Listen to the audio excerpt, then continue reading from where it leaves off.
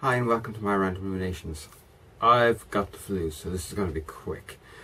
But uh, Saturday I went to a shopping centre and I was reminded again of something that seems to be pretty rife in the Irish shopping fraternity or sorority or whatever you would describe it as.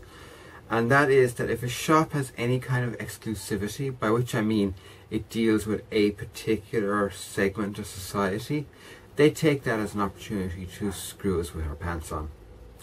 And they don't even have the decency to use lube or cut the pants open.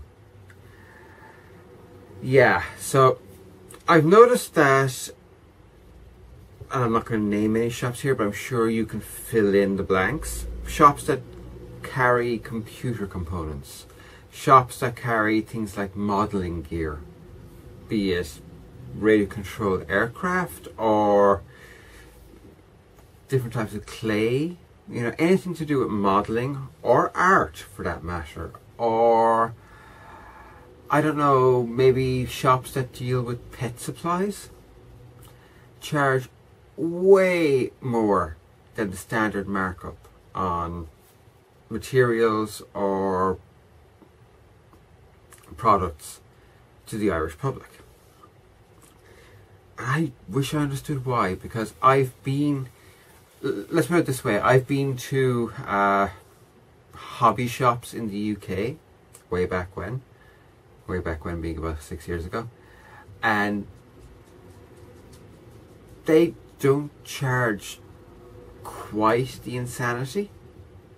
Now, I know part of this will come from the fact that in Ireland, if you buy anything, it's probably been taxed about four times. But that doesn't explain all of it. What do I mean? Well, let's put it this way. My partner in crime once owned a florist. And florists are fairly exclusive, as in, by which I mean, there's only a certain segment of society that will actually bother to buy flowers. And that may and thus flowers are relatively expensive, but in comparison, there is no comparison. There are certain flowers, like say roses, which are extraordinarily expensive for what they are. But you can still get a cheap posy for about 20 quid that will last you about a month if it's cared for properly and will look beautiful and will make your mammy very happy. Whereas there's very little excuse for the sheer cost of what certain shops are going to charge you. There is a computer component store near where I live here. It's actually on the same street.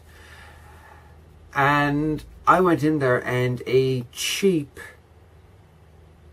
well, what should be a really cheap 12 centimeter computer fan was about 28 euros. I've seen the same fan online for less than six. And even the biggest, most well known components shop, which also does uh, electronics for radios and radio control stuff and kind of geeky stuff in general and starts with an M. I'm sure you can fill in the blanks. Even they, with their insanely inflated prices, which pretty much amount to whatever we charge in sterling, we double that number and turn it into euros, which of course is not how exchange rates work, but we'll leave that aside. Um, even they only charge about 12 euros for that particular fan. What is it with Irish shopkeepers? Now I'm going to go and die. So uh, I will talk to you all again on Thursday. Bye.